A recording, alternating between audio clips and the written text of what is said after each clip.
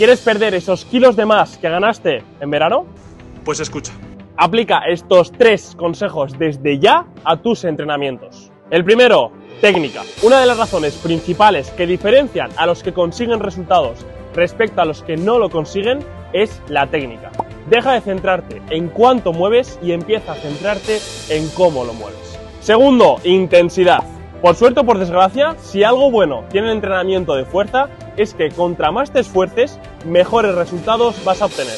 Así que cada vez que entrenes, da siempre el 200% de lo que tus circunstancias te permitan.